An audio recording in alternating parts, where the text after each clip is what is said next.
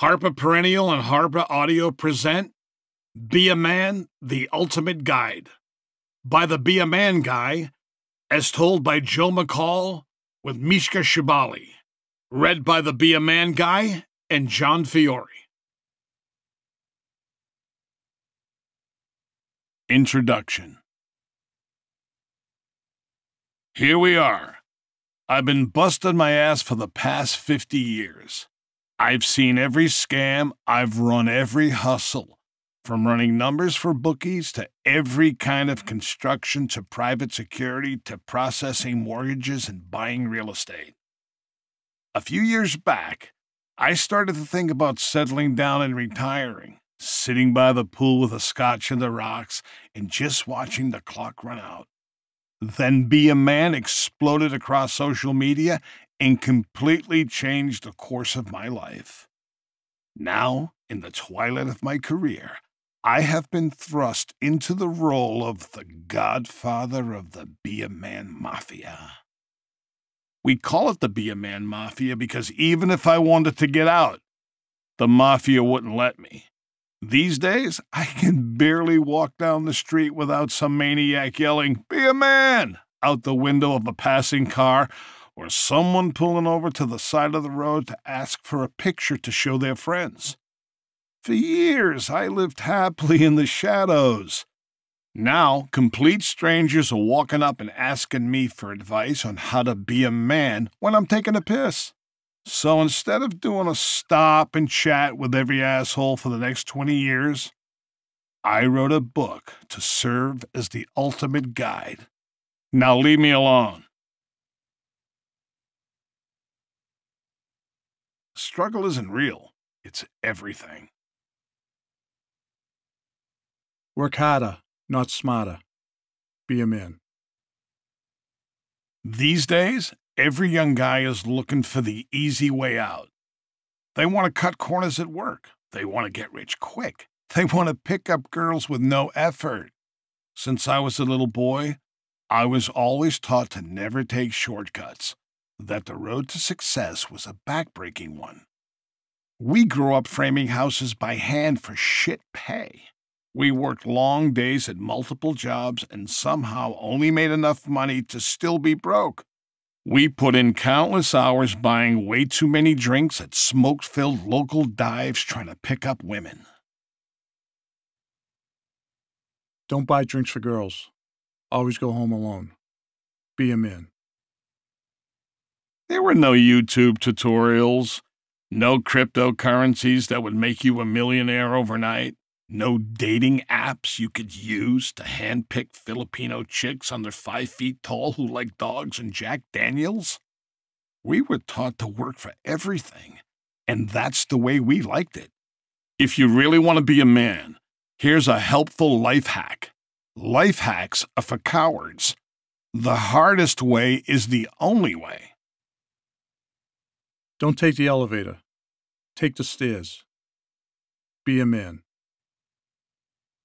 As men, we've always been on a mission to do it our way, no matter how difficult or ridiculous it might seem to everyone else. As far back as I can remember, my brothers and I learned life lessons by doing chores around the house. My dad didn't wait for the perfect conditions or supply us with the best tools for the job. He made us struggle in order to learn. This is a lesson I have applied in all facets of my life over the past five decades. It's not just about taking the scenic route instead of taking a shortcut. It's about abandoning all possible routes in favor of the longest, most nerve shredding, life threatening, inches wide coyote path on the side of an unforgiving cliff till you feel like you're losing your fucking mind from terror and regret. Don't let anyone ruin your day. Ruin it yourself. Be a man. When the leaves fall off the trees in November here in New England, the northeast wind blows and they go everywhere. Cleaning them up can quickly turn into a month long project. Just when you think you're done, a strong gust of wind out of nowhere blows everything from your lazy prick next door neighbor's yard into yours, and you're back to square one. I've been told that leaves rake best when they're light and crisp, but I wouldn't know. While the eager beavers were out there as soon as the first leaves dropped, we grew up with a different, more challenging approach. We would always get our leaf assignments fresh off a nor'easter. Those light, crisp leaves would soak up water until they weighed as much as wet concrete and smelled like the flooded basement of an abandoned insane asylum. My dad said it was good that the leaves were heavy because it made for a better workout. You don't have to go to the gym today. Lucky you. Blow your leaves onto your neighbor's lawn. Be a man. When we had to paint the house, there were no sprayers, no rollers, no fancy blue tape for the windows. There was a brush, a bucket, and a don't fuck anything up pep talk. Any asshole can use a roller on a wall, but painting the edges next to windows with a brush taught us how to get the job right. No one ever became great at anything by putting in the least amount of effort. Sometimes in life, struggle and hardship are exactly what we need. Don't take the easy way out. Struggle at all costs. Be a man.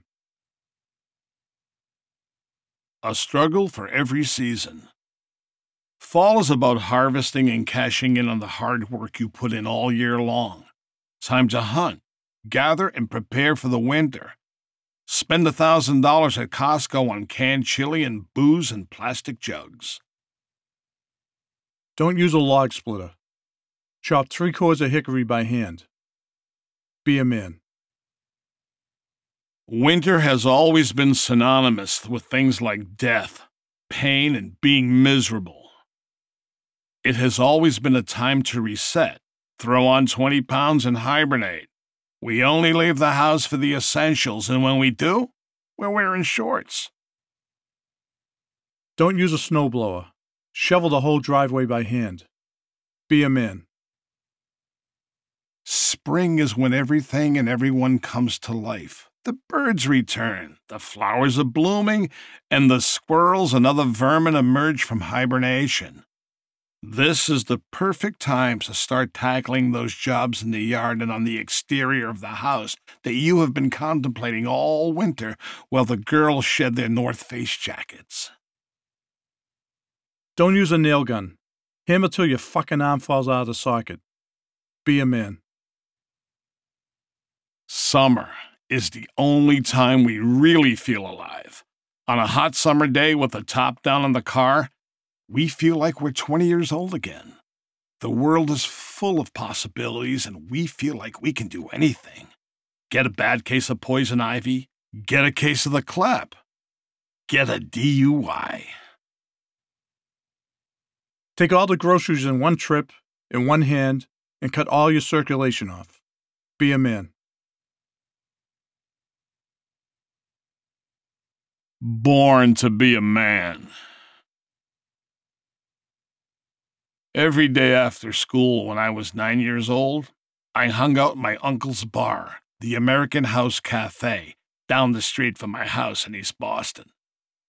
I can still smell the beer and the booze soaked hardwood floors and the smoke from a dozen lit Marlboros wafting through the air. Rip butts till you die. Be a man. Most days consisted of me sitting at the bar drinking cokes from the fountain as the neighborhood drunks, shipyard workers, and degenerate gamblers stumbled through the door. Some were there for a drink, but most of them were there to place a bet with my Uncle Libby. Other kids learned how to do math in school, but I learned by sticking close to my uncle. Libby drove big red Cadillacs and always wore a suit and glasses with a pen behind his ear and a folded up newspaper under his arm. His hair smelled like Tres Flores pomade, and he liked to keep a glass of water on top of the fridge because he said it kept it cold. He was married once for nine months, but his wife chased him through Day Square in East Boston with an axe one afternoon. Libby always had a wad of cash on him as thick as a two by four. If you wanted to gamble on the horses or the Celtics back in those days, there was no credit. you had to show up with the cash, plus the vig in hand to get in on the action. Pay for everything in cash. Be a man. Libby's brother, my Uncle Naco, worked the front of the house, serving drinks and running the day to day while Libby ran the books. Italians were a different breed back then. These two brothers ran a business together. They sat 10 feet apart all day, but they still barely spoke to each other. They liked to use me as a carrier pigeon, walking back and forth across the room to relay messages, even though they can both hear what the other was saying. I can see them perk up the minute I walked into a room over to the bar. Your uncle's being a real prick today, you know, Naco muttered as he handed me a wad of cash. When I walked over to hand it to Libby, he snapped back, Tell Naco to go fuck himself. The only time I ever heard one of them say something nice about the other was the day we got raided. Two cops busted through the side door. Libby tucked his newspaper under his arm, put his hat on real low, and made his way to the back door. Before he could slip out, a cop grabbed him by the arm and slammed him against the wall. Naco stood up and yelled, Get your fucking hands off him! He's an old man! Always talk shit about your family. But if someone else does, fight 'em. Be a man. The American House Cafe was never busy, and that's the way they liked it. They served a couple of kinds of beer whiskey, scotch, pretzels, and the occasional sandwich or burger. Nothing crazy. Most bars rely on booze to keep the doors open, but not here. Guys rolling their paychecks on a thoroughbred in the last race at Belmont is what moved the needle. Spend all your money on shit that'll kill you. Be a man.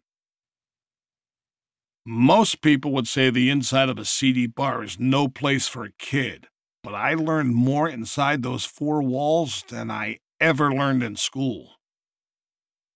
One day, one of the regular delivery guys walked through the empty barroom and grabbed a fistful of dollars out of the tip jar on his way out the door.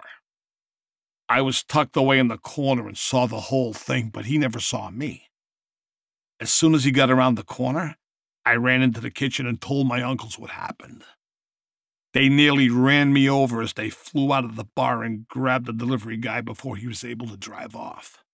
They got every dime back and gave the driver a few lumps as a parting gift. When they got back inside, they sat me down to tell me they were proud of me for letting them know. They made it clear that being a snitch was no way to live, unless, of course, you are protecting your family. Five rites of passage. Becoming a man. 1. Caught smoking. When you get caught with a cigarette and your old man makes you smoke the whole pack, finish it. Then ask him to buy you another one. 2. Working on your bike. When you don't really know what you're doing, but you want to feel like a man, constantly flip your bike upside down and grease the chain. 3 cracking the liquor cabinet. Breaking into the coveted liquor cabinet and stealing some sort of booze to get drunk is part of growing up. But when you were this young, you don't really know your way around. Chug a bottle of margarita mix and wonder why you don't get wasted. 4. Adult entertainment. Every guy has stashed porno mags in a bag in the closet, in the shed, or in a ditch in the woods. When you hide these under your bed, your mom will immediately find them. Act dumbfounded and deny they're yours. 5. Shoplifting. Some people can do this in their sleep while others are terrified to swipe a stick of gum. If you shoplift, make sure it's something you don't want and you can't use. Let it ride. The year 1966 was the year everything changed for me. On June 8th, the American Football League and the National Football League announced their merger, catapulting football to the forefront of American sports. Don't go to church on Sunday. Sit on the couch and watch football for eight hours. Be a man. That fall, I was a third grader moonlighting as a bookie in training. While most eight year olds were collecting sports cards and watching the game on TV, I was watching their fathers and uncles lose money on Sunday and pay my uncles the next day. Every Monday, my Uncle Libby would. We hope you enjoyed this preview. To continue listening to this audiobook on Google Play Books, use the link in the video description.